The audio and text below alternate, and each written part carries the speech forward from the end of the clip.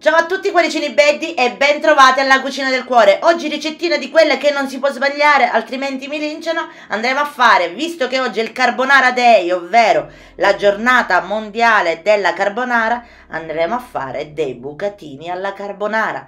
Spero che la ricetta vi piaccia, se sbaglio qualcosa non mi ammazzate, fatemi qualche critica costruttiva così posso migliorarmi. Spero di no, ovviamente. Spero che la ricetta sia giusta. Vi lascio la ricetta. Ingredienti che ci serviranno per due persone sono 70 g di guanciale, 30 g di pecorino romano, 3 tuorli d'uovo e 160 g di pasta, ovviamente pepe nero macinato fresco, mi raccomando.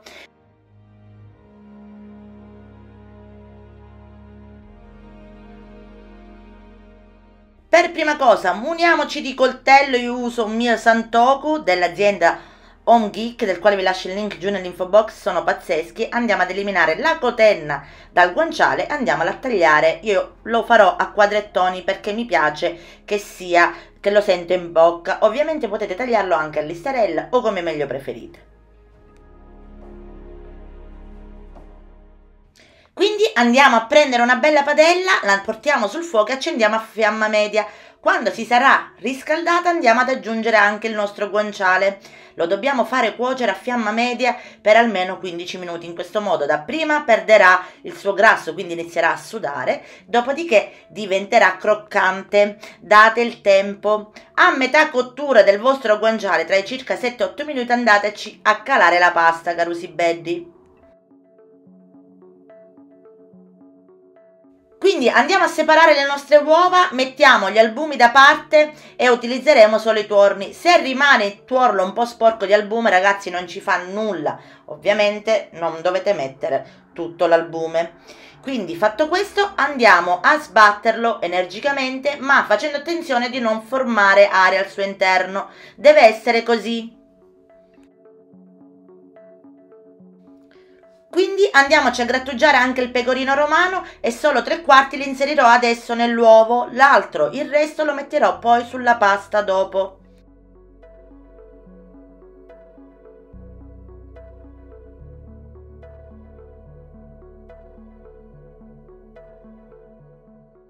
Quindi andiamo a mescolare il tutto e andiamo ad aggiungere anche un goccino di pepe nero. Ovviamente nella cremina di, di uovo non andrò ad aggiungere sale. Il sale lo aggiungerò solo nell'acqua della pasta. Non ne mettete troppo perché tutti gli ingredienti che stiamo utilizzando sono abbastanza saporiti di suo. Quindi mettiamo la pasta, puntiamo l'orologio, la pasta deve essere al dente e mescoliamo di tanto in tanto sia la pasta che il nostro guanciale.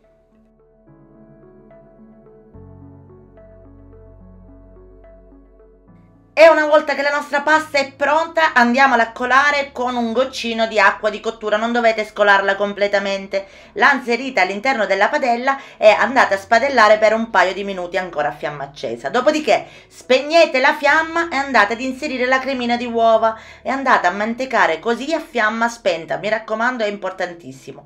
Non vi preoccupate per l'uovo crudo perché si cuocerà con il calore della nostra pasta. Arriverà all'incirca 65 gradi che è il punto di cottura per andare a pastorizzare le uova.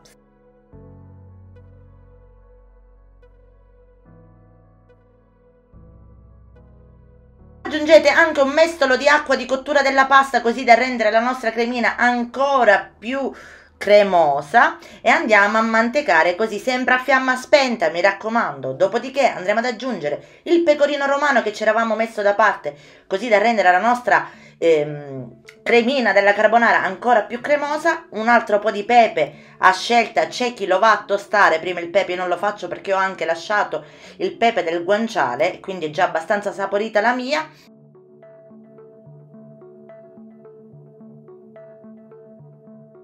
Ovviamente non c'è bisogno che vi dico io che bisognerebbe partire da ingredienti di ottima qualità, sia dal guanciale che dal pecorino, ma anche dalle uova. Mi raccomando, devono essere fresche.